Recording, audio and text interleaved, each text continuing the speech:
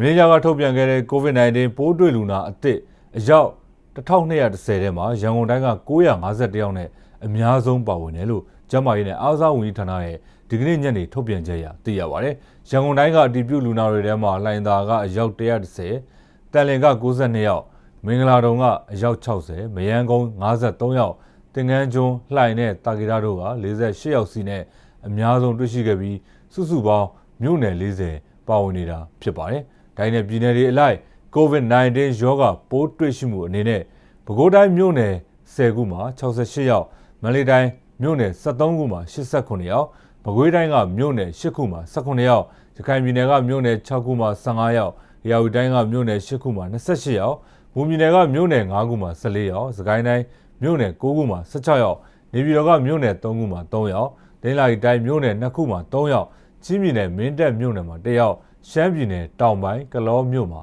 1ယောက်အသီးသီးတွေ့ရှိခဲ့တာဖြစ်ပါတယ်တကွယ်ဒီပြူလူနာတစ်တွေထဲမှာအနက်မရရှိသူ358ယောက်ပါဝင်တယ်လို့ကျန်းမာရေးနဲ့အားကစားဝန်ကြီးဌာနကထုတ်ပြန်ထားပါတယ်ခင်ဗျာ။